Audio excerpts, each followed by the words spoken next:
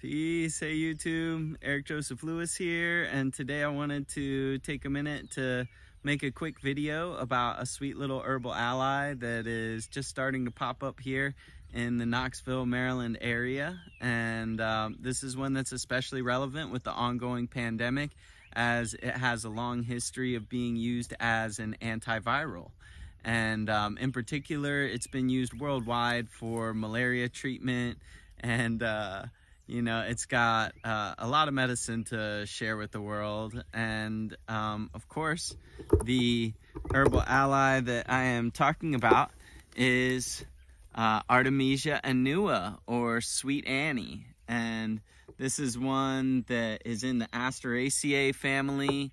Um, and even now, this even this dead stalk from last year, this dead flower stalk from last year that you can see. There's a, a whole area of them here where they're just folded over um, from the snow. Oh, and you can see a couple of our little kitties in the background.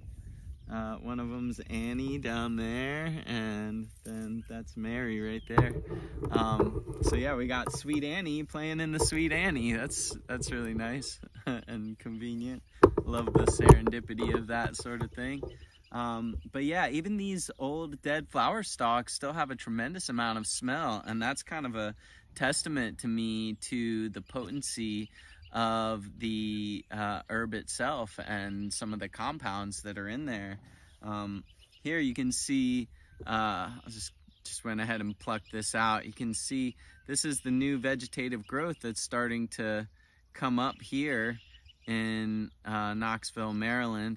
And this is, uh, you can see, this is second year growth. This is attached to a root system that's already pretty well developed. So this isn't a seedling, which is interesting because the species name Annua is supposed to be indicative of its annual growth habit, but I suppose there are exceptions to that.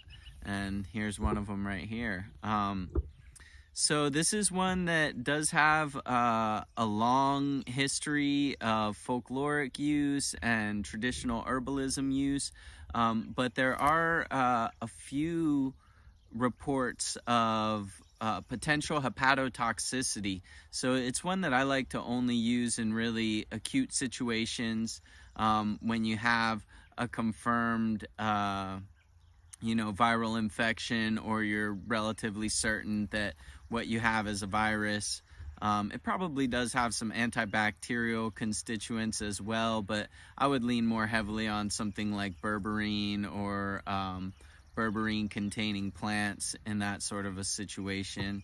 Um, because this one, there is a at least one reported case that's of uh, cholestatic hepatitis um, from somebody who was taking Artemisia annua with a number of other herbs as a preventative for malaria when they were traveling to Ethiopia. And so they were they were taking it for like I don't know, 4 or 5 weeks or something and the toxicity slowly accumulated and um, they ended up going to the hospital with uh, symptoms that um, resembled jaundice and uh, you can look it up. There's a, a really easy to find um, scholarly article if you just look up uh, Artemisia annua scholarly or look up Artemisia annua on Google Scholar. It'll come right up.